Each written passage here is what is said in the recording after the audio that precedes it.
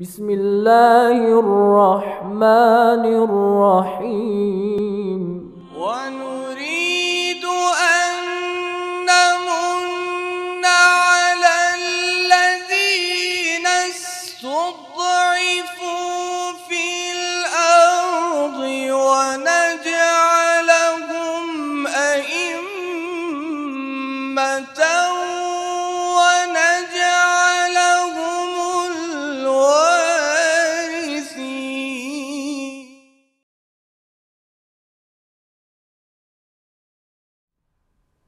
আউজবিল্লাহি মিনাশাইতানুর রাজিম। বিসমিল্লাহির রহমানির রহিম। নাহমাদুহু ওয়া নুসাল্লি আলা রাসূলিহিল কারীম, আলিহিত তাইয়্যিবিন আত-তাহিরিন ওয়া লা'নাতুল্লাহি আলা আদাইহিম আজমাইন। মিনাল আন ইলা কিয়ামি ইয়াউমিদ্দিন। আল্লাহুম্মা সাল্লি আলা মুহাম্মাদ ওয়া আলি মুহাম্মাদ। আমরা আপনাদের সামনে ইমামের জ্ঞান সংক্রান্ত আলোচনা করছিলাম। এবং এই জ্ঞান সংক্রান্ত আলোচনা আপনাদের সামনে তিনটি মূল বৈশিষ্ট্য তুলে ধরেছিলাম। প্রথম যে বৈশিষ্ট্য ইমামের জ্ঞান হচ্ছে হলো উপস্থিত এবং অনর্জিত জ্ঞান। কখনোই এই জ্ঞানটা কারও কাছ থেকে শিক্ষা দীক্ষার মাধ্যমে অর্জিত হয় নাই। দ্বিতীয় হচ্ছে, এই জ্ঞানের ধারণা হচ্ছে হলো উপস্থিত জ্ঞানের মতো এই অবস্থা, অর্থাৎ যার মধ্যে কোনো ভুল ত্রুটি হওয়ার সম্ভাবনা নাই। তৃতীয় হচ্ছে এই জ্ঞানের সীমানা হচ্ছে অসীম। অর্থাৎ এই জ্ঞানের কোনো সীমানা নাই। আল্লাহ রাবুল আলমিন যিনি অসীম জ্ঞানের অধিকারী, সেই জ্ঞানের ভাণ্ডারের সাথে ইমামদেরকে সম্পৃক্ত করেছেন এবং তারা কখনোই আল্লাহ রাব্বুল আলমিন থেকে অভাবহীন হয় না। তারা আল্লাহ রাব্বুল আলমিনের জ্ঞানের সাথে সম্পৃক্ত হওয়ার মাধ্যমে তার উপর নির্ভরতার মাধ্যমে অসীম জ্ঞানের অধিকারী হয়ে থাকেন। এবং এই আলোচনায় আমরা এইভাবে আপনাদের সামনে বলেছি যে ইমামদের জ্ঞানের যদি নির্দিষ্ট সীমানা না থাকে, এর অর্থ এই নয় যে তিনি স্রষ্টা হয়ে গেছেন অথবা অসীম জ্ঞান আল্লাহর পর্যায়ে পৌঁছে গেছেন। নাউজবিল্লা আমাদের উদ্দেশ্য এই না, অবশ্যই সমস্ত ক্ষেত্রেই তারা আল্লাহর উপর একশো পার্সেন্ট নির্ভরশীল, তারা আল্লাহর বান্দা এবং আল্লাহ তাদের, তার নিজের জ্ঞানের মাধ্যমে তাদেরকে জ্ঞানী করেছেন। এটাই হচ্ছে আমাদের মূল বিষয়বস্তু। আজকে আমাদের আলোচনার বিষয়বস্তু হচ্ছে হলো ইমামদের এই যে জ্ঞানের বিষয়টা আমরা উপস্থাপন করলাম, এটার দলিল প্রমাণগুলো কি? কি কি দলিল সাধারণত আমাদের সামনে রয়েছে? প্রথম দলিল হিসেবে আমরা যেটা আলোচনা করেছি, যে একজন নিষ্পাপ ব্যক্তি মাসুম ব্যক্তির অবশ্যই জ্ঞানী থাকতে হবে। অর্থাৎ ইমাম মাসুম এইটাই হচ্ছে একটা দলিল যে তিনি হচ্ছেন জ্ঞানী। কারণ কারণ যদি মাসুম তখনই হবেন যিনি তার কাজে, কর্মে এবং সমস্ত কিছুতে আল্লাহর বান্দা হওয়ার ক্ষেত্রে, আল্লাহর বন্দিগি করার ক্ষেত্রে, আল্লাহর অনুসরণ করার ক্ষেত্রে, সমস্ত ক্ষেত্রে যেভাবে আল্লাহ চান ঠিক সব সেভাবে পালন করতে হবে। এই যে এই ধরনের অবস্থাটা, এই অবস্থার জন্য অবশ্যই তাকে জ্ঞান থাকতে হবে যে তিনি কোন জিনিসটা তার জন্য কল্যাণকর, কোন জিনিসটা অকল্যাণকর এবং কোনটা আল্লাহ পছন্দ করেন, কোনটা আল্লাহ পছন্দ করেন না, এ সম্পর্কে সব বিষয়ে তাকে জানতে হবে।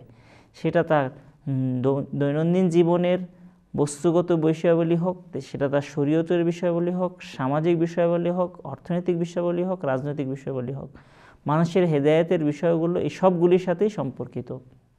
অতএব তিনি যখন মানব জাতির জন্য একটা উত্তম মডেল হিসেবে আমাদের সামনে আসবেন, অবশ্যই তাকে এসব ক্ষেত্রেই নিষ্পাপ এবং ভুল ত্রুটি থেকে মুক্ত হতে হবে। ফলে তার অবশ্যই এই সংক্রান্ত পরিপূর্ণ জ্ঞান থাকতে হবে। এটাই একটা দলিল।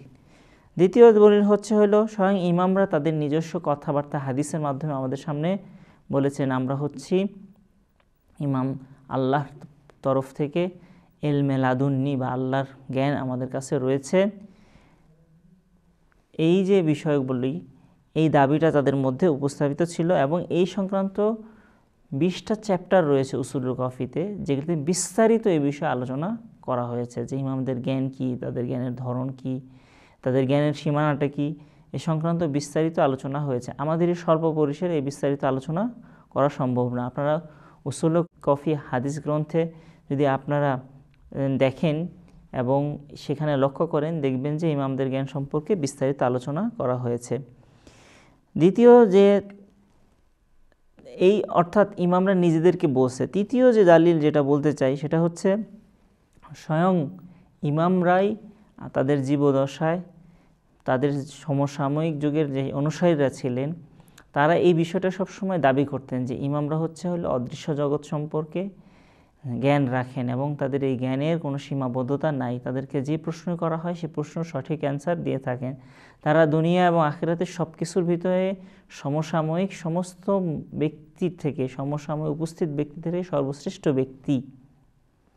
এই বিষয়টা যদি তারা দাবি করে থাকেন এবং ইমামরা এর বিপরীতে কখনোই এই বিষয়টাকে কখনোই অস্বীকার করেন নাই। অর্থাৎ এরকম একটা দাবি কয়েকশো বছর ধরে ইমাম সম্পর্কে বলা হয়েছে, অথচ ইমামরা এই ক্ষেত্রে কোনো প্রতিবাদ করে নাই।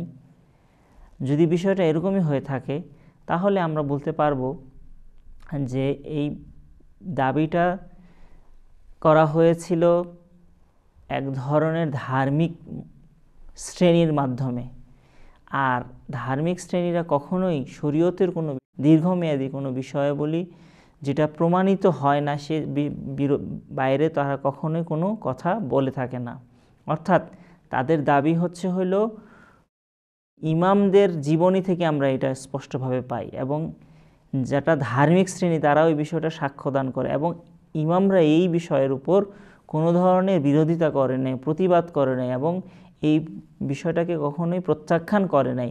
এই দলিল থেকে আমরা প্রমাণ করতে পারি হ্যাঁ, যে অর্থাৎ ইমামরা যে আল্লাহর পক্ষ থেকে জ্ঞানী ছিলেন এবং অসীম জ্ঞানের অধিকারী ছিলেন, এলমে লাদুনি তাদের কাছে ছিল, সেই বিষয়টা প্রমাণ করা সম্ভব। আমরা বিশেষ করে রাসুল্লাহ সাল্লাহ আলি সাল্লামের পর থেকে আলী আল্লাহ সাল্লাম থেকে শুরু করে ইমাম হাসান আসকারি এবং তার পরবর্তী ইমামে জামানের তিনি পর্দার অন্তরে চলে গেছেন, মানুষ থেকে অদৃশ্য হয়ে গিয়েছিলেন। ছোট সময়ে দীর্ঘমেয়াদী পর্দার অন্তরালে যাওয়ার আগ পর্যন্ত যেই সকল দাবি দাওয়া ছিল, তার মধ্যে একটা বড় দাবি ছিল হচ্ছে, ইমামরা দাবি করতেন যারা সব কিছু সম্পর্কে জানেন। এবং এই বিষয়ে তাদের থেকে কখনোই কোনো কিছু অস্বীকার করা হয় না এবং এই দাবিটা সমস্ত ধার্মিক শ্রেণির মাধ্যমে প্রচলিত ছিল এবং মোতাওয়াতের সূত্রে আমাদের হাতে এসে পৌঁছেছে। এই একটা গুরুত্বপূর্ণ দালিল। চার নাম্বার যে দালিলটা আপনাদের সামনে আমি আপনাদের সামনে উপস্থাপন করতে চাই, সেটা হচ্ছে যে হাদিসের সাকালাইন রাসুল্লাহ সাল্লাহ সাল্লাম বলেছে, আমি তোমাদের মাঝে দুটি জিনিস রেখে যাচ্ছি এবং এর একটি হচ্ছে কোরআন, অপরটি হচ্ছে আমার আহলে বাইত। এই দুটি হাউস কাউসারে আমার কাছে পৌঁছানোর আগ পর্যন্ত কখনোই পরস্পর থেকে বিচ্ছিন্ন হবে না এবং কেউ যদি এই দুটিকে আঁকড়ে ধরে কখনোই পথভ্রষ্ট হবে না। তখনই কোরআন এবং আহলে বাইত সবসময় সম্পৃক্ত থাকতে হবে। তারা নিজেরা আগে কোরআনের উপর জ্ঞান থাকতে হবে। এক কোরআনের উপর জ্ঞান সম্পূর্ণরূপে তাদের থাকতে হবে। দুই, এর উপর বেশ করে তারা আমল করবে এবং কোরআন থেকে তারা কখনোই বাস্তবে আমল করার ক্ষেত্রে কখনো বিচ্ছিন্ন হবে না। অর্থাৎ কোরআন যে নির্দেশনাবলী মানব জাতির হেদায়তের জন্য এনেছেন, তার উপর সম্পূর্ণরূপে তারা আমল করতে হবে।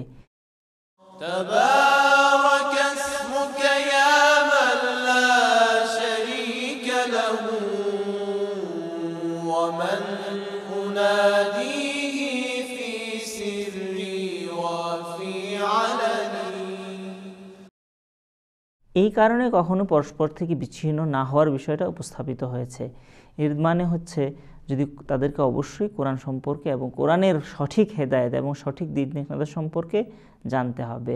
তা না হলে তারা কখনোই কোরআন থেকে বিচ্ছিন্ন না হওয়ার বিষয়টা তার কাছে অকাট্যভাবে প্রমাণ করা সম্ভব নয়। যারা কোরআন সম্পর্কে জানবে না, তারা তো অবশ্যই কোরআন থেকে কোরআন নির্দেশনাবলীর বাইরে বিষয়াবলীর উপর আমল করার সম্ভাবনা তাদের মধ্যে থেকে যায়। এই ধরনের বিষয়াবলী যদি হয়ে থাকে, তাহলে আমরা বুঝতে পারি যে হাদিসের সাকালাইন দ্বারাও প্রমাণ করা সম্ভব যে কোরআনের যে সাথে সম্পৃক্ত আহলে বাইত এবং কোরআনের যখনই দুইটাকে আঁকড়ে ধরলে মানব জাতি কখনোই গোমরাহ বা পথভ্রষ্ট হবে না। এর অর্থ এই যে, ইমামরা অবশ্যই কোরআন সম্পর্কে সম্পূর্ণরূপে জ্ঞানী ছিলেন। যদি তাই হয়ে যায় বিষয়বস্তু, এ থেকে বোঝা যায় যে ইমামদের এলমি গাইব বা অদৃশ্য জগৎ সম্পর্কে গাইব এবং অসীম জ্ঞানের অধিকারী তারা ছিলেন। কোরআন জাতি হেদায়তের জন্য কিয়ামত পর্যন্ত যে মডেল, যে আদর্শ স্বরূপ আমাদের সামনে এসেছে, সে সংক্রান্ত সমস্ত দিক নির্দেশনাগুলি কোরআনে রয়েছে এবং এগুলো একমাত্র আল্লাহ রাবুল আলমিনের পক্ষ থেকে নির্বাচিত ব্যক্তি এবং তার পক্ষ থেকে জ্ঞান যদি মানব জাতির মধ্যে ওই সব নির্বাচিত ব্যক্তিদের কাছে না আসে তাহলে কখনোই মানব জাতির হেদায়তের উত্তম মডেল হিসেবে হতে পারবে না। এবং এই মডেল হওয়ার জন্য তাদেরকে অবশ্যই কি করতে হবে? কোরআন সম্পর্কে জ্ঞান থাকতে হবে। এই হলো মোটামুটি আমাদের ইমাম সংক্রান্ত আলোচনার মূল বিষয়াবলী। এই বিষয়ে আরেকটা বিষয় বলতে পারি যে, আসলে এই বিষয়ে আমরা দেখতে পারি যে, এখন কোরআনে বিভিন্ন ক্ষেত্রে এলমের মিনাল কিতাব শব্দটা ব্যবহার হয়েছে। অর্থাৎ আং এলমের কিতাব বা ঐশী কিতাবের আংশিক জ্ঞান তাদের মধ্যে রয়েছে। যেটা সোলেমান নবী আলহামের যার মানে আপনারা যদি সামনে দেখে থাকে এই ঘটনাটা, যে তিনি বলেছিলেন, কে বিলকিসের সিংহাসন আমাদের সামনে নিয়ে আসতে পারে? একজন দাবি করেছে যে, আপনি যদি বসা থেকে উঠান, উঠে দাঁড়ান, এর মাধ্যমে আমি নিয়ে আসব। আরেকজন বলছে যে, আমি আপনার চোখের পলকের মধ্যেই নিয়ে আসা সম্ভব। তার মানে পরবর্তী মুহূর্তে সেই জিনিসটা উপস্থিত করতে পেরেছিল। ইতিহাসের, কোরআনের ইতিহাস এবং শানে নজুল ব্যাখ্যা বিশ্লেষণ করে বলে, যেই ব্যক্তি সম্পর্কে বলা হয় এবং কোরআন আয়াত স্পষ্টভাবে বলেছে, তাদের কাছে এলমি বা ঐশী জ্ঞানের আংশিক জ্ঞান ছিল এবং আংশিক জ্ঞানের মাধ্যমে তারা এই কাজ করতে পেরেছে। কিন্তু আহলেবাইতের ইমামরা দাবি করে থাকেন এবং এটা বাস্তব, সেটা হচ্ছে যে তারা হচ্ছে কিতাবের সম্পূর্ণ জ্ঞানের অধিকারী, ঐশী গ্রন্থের। সৃষ্টীয় জ্ঞানের সম্পূর্ণ অধিকারী ছিলেন। কিন্তু স্বনির্ভরশীল নয়, পরনির্ভরশীল, আল্লাহর উপর নির্ভরশীলতা। যদিও যার সম্পর্কে বলা হয়েছে সেও কখনোই নিজে দাবি করে নাই যেটা আমি নিজে অর্জন করেছি। সেটাও আল্লাহর রহমতের ফলে অর্জন করতে পেরেছিল। যদি এরকম হয়ে থাকে, তাহলে আমরা বুঝতে পারি যে এই বিষয়টা কোরআনে অস্পষ্ট নয় যে এই জিনিসটা অসম্ভব একটা বিষয় আমরা ইমামত সম্পর্কে উপস্থাপন করেছি। ইমামের বিষয়গুলি অস্পষ্টভাবে স্পষ্ট উপস্থাপন করার কোনো ইস্যু নাই। কোরআনে এই ঘটনা থেকে বোঝা যায় যে আল্লাহ রাবুল আলমিন কোনো কোনো ব্যক্তিকে তার আংশিক জ্ঞানের মাধ্যমে এই পর্যন্ত জ্ঞান দিয়েছেন যে একটা সিংহাসনকে এক চোখের পলকে কয়েক হাজার কিলোমিটার দূরে থেকে কয়েকশো কিলোমিটার দূরে, একটা দূরবর্তী স্থান থেকে একটা বস্তুকে ট্রান্সফার করতে পেরেছিল। যদি কোরআন মোতাবতের সূত্রে নাজিল হয়ে থাকে এবং কোরআনের ব্যাপারে কোনো সন্দেহ করার সুযোগ না থেকে থাকে, তাহলে প্রথম যে বিষয় বলে আমাদের জন্য প্রয়োজন সেটা হচ্ছে এখন পর্যন্ত কোনো প্রযুক্তি এই পর্যায়ে যায় নাই যে একটা বস্তুগত জিনিসকে একটা চোখের পলকে এক জায়গা থেকে আরেক জায়গায় স্থানান্তর করা সম্ভব। এই জ্ঞানটা আল্লাহ রাবুল আলমিনের পক্ষ থেকে আল্লাহর বিশেষ বান্দাদেরকে দেওয়া হয়েছে এবং ইমামদের ক্ষেত্রে এর সম্পূর্ণ জ্ঞানই দেওয়া হয়েছে। এই হচ্ছে মোটামুটি একটা বিষয়াবলী। অর্থাৎ আমরা সার্বিকভাবে ইমামের জ্ঞান সংক্রান্ত বিষয়াবলী এই সিদ্ধান্তে আসলাম যে তাদের জ্ঞান অবশ্যই উপস্থিত জ্ঞান। দ্বিতীয় হচ্ছে কখনোই এতে ভুল ত্রুটির কোনো সম্ভাবনা থাকে না। তৃতীয় হচ্ছে অসীম জ্ঞানের অধিকারী। এই হচ্ছে মোটামুটি আমাদের ইমামের জ্ঞান সংক্রান্ত আলোচনা।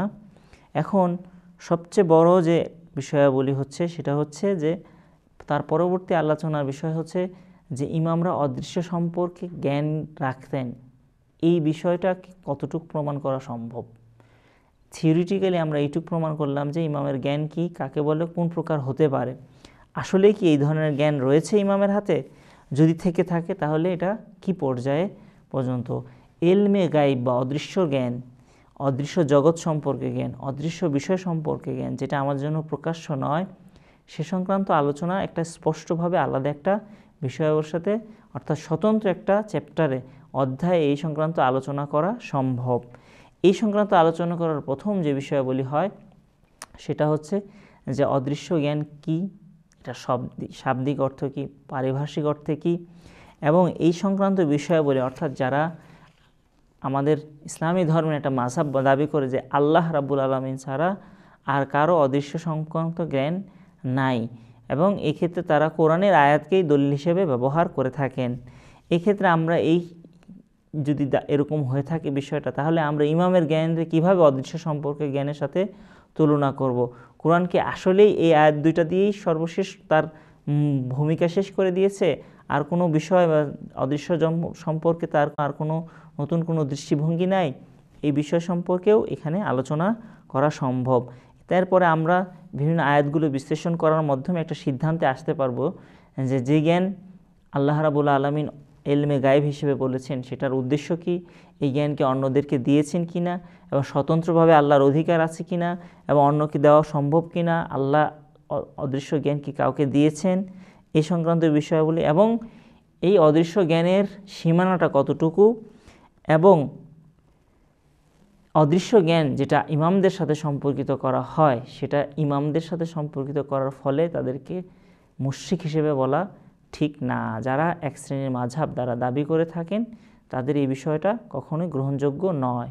যদি বিষয়টা এরকমই হয়ে থাকে, তাহলে আমরা এই বিষয়টা স্পষ্ট বুঝতে পারব যে এই বিষয়টা আলোচনার মাধ্যমে, পর্যালোচনার মাধ্যমে সিদ্ধান্তে আসতে পারব যে ইমামদের এলমে লাদুনির সাথে আল্লাহর যে অদৃশ্য জ্ঞান, যেটা আল্লাহ ছাড়া কেউ জানে না, এটার কোনো বিপরীতমুখী সম্পর্ক নাই।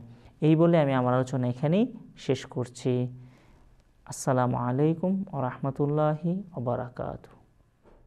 اللهم صل على محمد وآله وارزقني صحة في عباده وفراغا في زهاده وعلما في استعمال وورعا في إجمال برحمتك يا أرحم الراحمين.